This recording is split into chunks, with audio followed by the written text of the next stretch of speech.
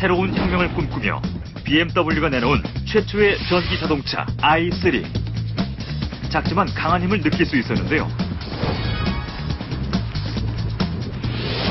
그런데 이때 갑자기 멈춰선 i3. i3. 그리고 그녀에게 무슨 일이 생긴 걸까요?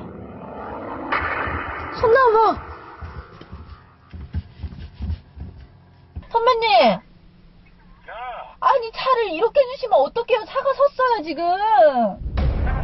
여기 허우 벌판이에요.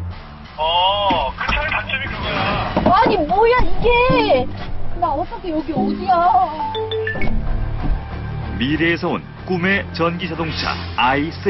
이게 뭐야. 하지만 혹시 모를 상황에 대비해 견인차 번호는 알아두는 게 좋겠군요.